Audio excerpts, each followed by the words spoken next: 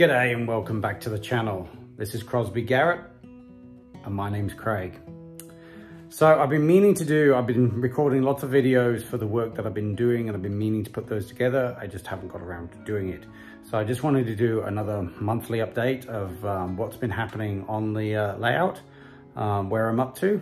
Um, everything you see, um, I have been filming the changes that I've been doing and as I say, I hope to uh, do uh, put some videos together um, but it's not really, uh, I guess, something I'm really passionate uh, about doing and want to focus. I actually just want to get on with the modeling, but I have been filming and photographing. And for those of you see the uh, post on Facebook, you do see uh, an Instagram, you do see the progress. Um, but like I say, there is video content as well that I'd like to get uploaded to the channel for uh, you guys.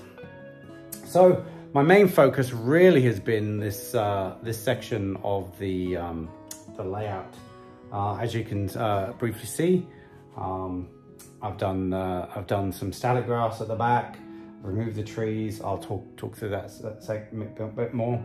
Um, I've just finished off this uh, stone retaining wall that leads up to the the bridge, um, and of course progress on the uh, um, good shed, which has taken um, quite a bit of my time. I'm actually waiting on some magnification glasses to turn up so I can finish this um, uh, uh, because my eyes are starting to strain a bit uh, and I'm going to wait for that before I can paint it. But we'll touch on touch on that building in a second. So yeah, let me just uh, flip the camera around and uh, I'll go in a bit more detail of the work that's been carried out. Okay, so um, I've added a few more trees, uh, both on the, this side and uh, and more on the back. Um, with the back, you can see it's all, all crinkled due to the, the water. Um, definitely a mistake that I've made in the construction of the layout was uh, doing the back scene first. Um, I did try to protect it, uh, but prob probably not as best as I could do. But um, yeah, I think, um, so I've added a load of trees um, that kind of hide hide majority of that as possible.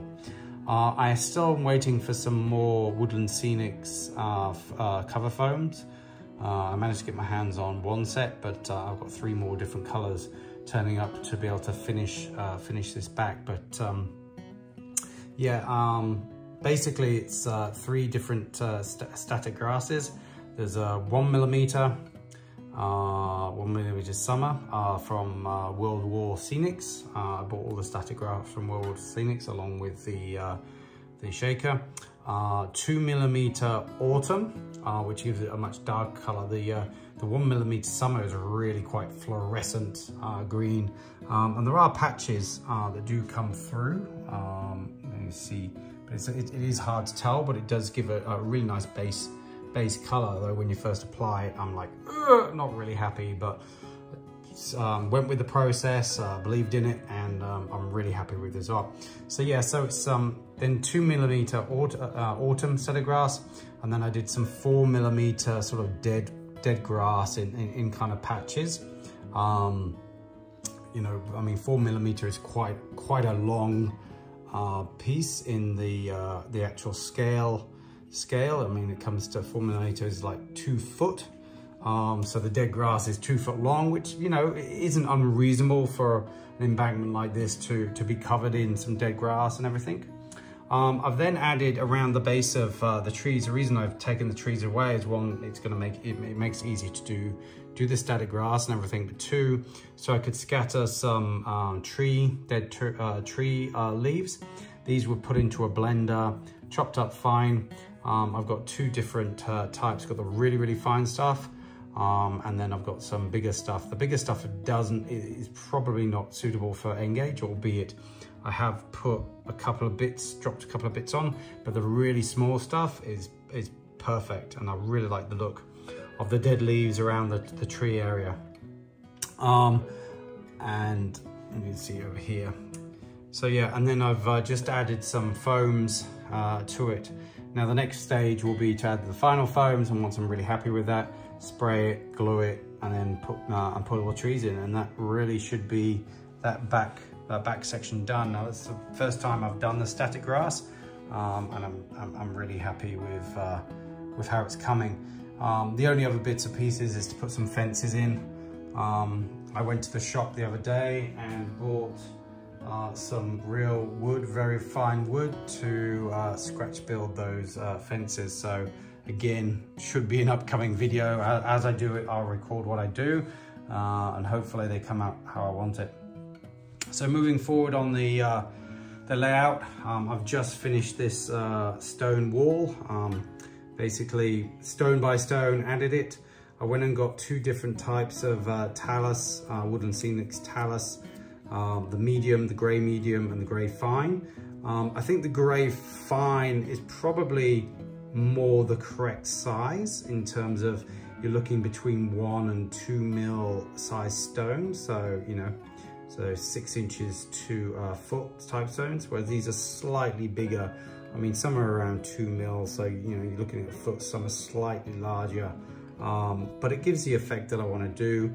Um, the next stage is going to be to uh, take all these trees out. Once I finish the back, I'll take these trees out, then I'll do the grass right to the edge. Um, but I do want to do a bit of weathering and everything beforehand.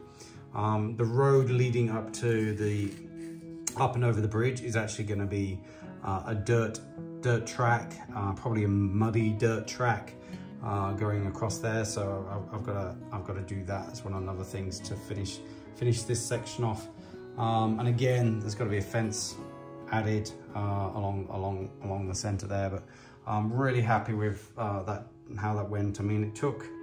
I mean, it was about 25 minutes. So in actual, it took about an hour to put it all in. Um, I basically super glued uh, some parts of it and then just stacked the stones bit by bit. Some were loose and then just did what you'd normally do with ballast and um, put some glue, 50-50 uh, uh, PVA and water glue, just soaked it on there and uh, leaving it overnight to, to set. So yeah, really happy with um, how the platform section is, is coming out. Uh, and moving on to the final piece that I've been working on is the uh, the good shed. Um, as you can see, um, it's really coming together. I'm, I'm really happy, really happy with this um, and how, how it's looking. The, um, the doors are painted, as you can see. The roof uh, has been painted and weathered. The uh, end vents at the end of the building have been painted and weathered.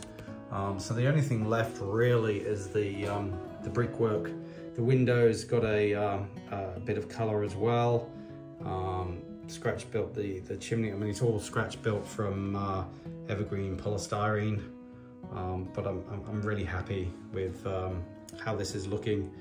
Um, so yeah, so I've just got the um, the detailed painting of the stonework on the uh, on the face and the, the corners. But um, like I say, I'm just waiting for some uh, magnifying glasses to come in before I can um, before I want to progress it, i guess I'm using that as procrastinate, uh, not to get on with it, but I mean, it's so close to being finished and I'm really happy with how that's come out. Um, and once I've finished that, the next building really is going to be the Station Masters building that's going to go on here um, and everything. And, um, and yeah, and then once I've got the Station Master, I've just got to figure out what I'm going to do for the Station Master's garden um, do I want veggie patch? Do I want to do a, a bit of that here? And then I can do the um, static grass as well, but I just got to figure this out. So this side of it's really going to be quite easy and, uh, and this bit up until here, because that's just fields. And then I've got to figure out what I want to do for the station masters and just finish this bit off. But um, that, that section is really, really coming along. So yeah, there's plenty to uh, for me to get on with. Um, and as you can see, I've made uh, quite a bit of progress, although it's kind of spread over the um, over the board. Um, like I say, and I think I said in the video a few times, I'm, I'm really happy with how things are coming. Um, how I've done the, the, the grass, the static grass, the, the layers and everything is all from uh, Luke Towan, uh, just watching him um, I love how his videos uh, come out, how realistic they are. Um, so I just, um, yeah, just copied it. Um, I've also, in, in regards to, I think from the last video, I actually did a, my first pine, my pine tree. Um, let me just bring this out here.